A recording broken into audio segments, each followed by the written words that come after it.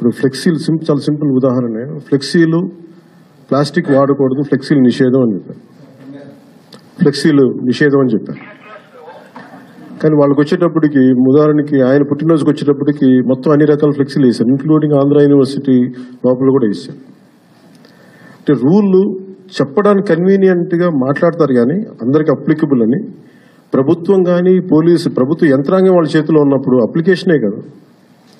అది మాట్లాడడానికి వాళ్ళు వైసీపీ వాళ్ళకి నిజంగా కోవిడ్లో వాళ్ళు ఎన్ని ఎన్ని దారుణాలు చేశారు?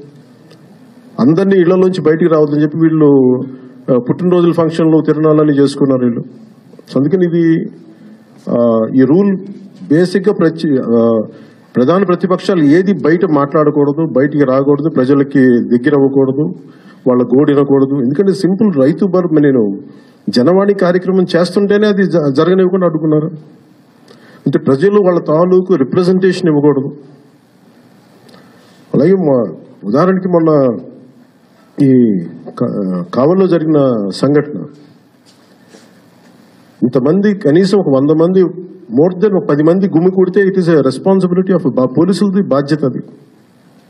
వంద మంది ఉన్నా ఎక్కువ ఒక పది మంది జనం ఉంటే అది పోలీసులది బాధ్యత. లా అండ్ ఆర్డర్ సిచ్యువేషన్ ఎందుకున్నారు? దేనికనేది పోలీసు యంత్రాంగం చూడాల్సింది.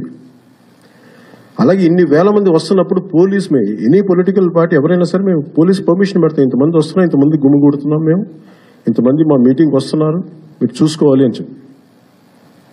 వాళ్ళు పోలీస్ ప్రొటెక్షన్ ఇవ్వకపోతే ఏం చేస్తాం? మా బాధ్యత యాజ్ అ పొలిటికల్ పార్టీగా మేము అవేర్నెస్ ఇవ్వడం మాట్లాడటం తెలియజేయటం విషయాలు తెలియజేయటం జరుగుతున్న తప్పుల్ని తెలియజేయటం అంతేగాని కూర్చోబెట్టి మేము లాండ్ ఆర్డర్ మా లాఠీలు కూడా మేము మేమే పట్టుకోవాలా? మా మీటింగ్లకి మేమే లాఠీలు వాళ్ళకి పోలీసులు దేనికి ప్రభుత్వాలు దేనికి ఇప్పుడు?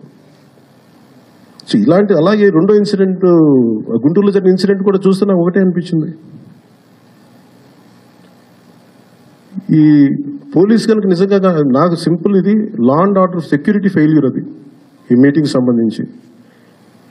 దీంట్లో ఎందుకంటే ఇది మన కోనసీమ విషయంలో కూడా మనం చూసాం. అంతకుముందు రిజర్వేషన్ గొడవలప్పుడు కూడా చూసాం. బేసిక్గా వీళ్ళందరూ వివేకానంద రెడ్డి గారి హత్య కేసులు చూసాం. వాళ్ళే మా కోడికత్తి కేసులో చూసాం. వాళ్ళే దాడులు చేయించుకొని వాళ్ళే వాళ్ళ మంత్రులు తగలబెట్టుకునే సంస్కృతి వైసీపీది. అలాగే దీని వెనక ఖచ్చితంగా కుట్రకోణం ఉంటుంది. ఎందుకంటే కుట్రకోణం అంటే చాలా సింపుల్ దీనికి. ఏదో సింపుల్గా జ- తప్పు జరుగుతున్నప్పుడు పోలీసులు ఇనాక్టివ్గా ఉండి వాళ్ళు మాకు వాళ్ళకి ఏమి పట్టకుండా చూస్తే చాలు ఆటోమేటిక్ జరిగిపోతుంది. దాంట్లో ఎవరెవరు సంఘ విద్రోహ శక్తులు దూరుతాయో తెలియదు ప్రత్యేకంగా నేను ఇది వైజాగ్ ఇన్సిడెంట్ మీ అందరికీ తెలిసిందే. హెడ్ చెప్తా ఉన్నారు గొడవలు జరగబోతున్నాయి జరగబోతున్నాయి అట్లాగే జరిగినాయి. దాని తగ్గట్టుగా పోలీసు కూడా వాళ్ళకి మద్దతు సంపూర్ణ సంపూర్తిగా ఇవ్వటం మా మీద పోలీసు కూడా ఇబ్బందులు పెట్టడం.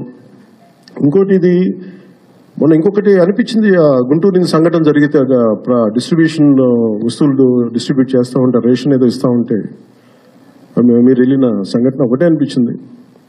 నిజంగా వైసీపీ ఇస్తున్న సంక్షేమ పథకాలు లేదంటే వాళ్ళు ఈ అల్పాదాయ వర్గాలకు వాళ్ళు నిజంగా వాళ్ళు అందుతున్న పథకాలు నిజంగా సంపూర్ణంగా అందుతుంటే అంతమంది ప్రజలు దేనికి ఒత్తిడి తీసుకున్నారు?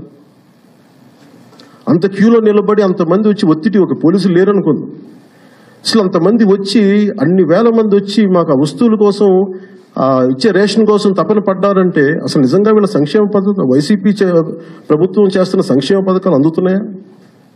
లేదు నిజంగా వాళ్ళు చేస్తున్న ప్రజలకు చేరుతున్నాయా? మరి ఎవరికి చేరుతున్నాయో తెలియట్లేదు. నిజంగా వీళ్ళ సంక్షేమ పథకాలు సంపూర్ణంగా అమలు అయితే ఇంతమంది ప్రజలు ఎందుకు వస్తారు? ఒక ఒక రేషన్ కిట్ కోసం ఎందుకు వస్తారు రోడ్ల మీదకి?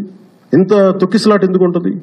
అని చెప్పి నాకు లోపల ఇది అనిపించింది అందుకని ఇది ప్రత్యేకించి మీరు చెప్తున్న దానికి వైసీపీది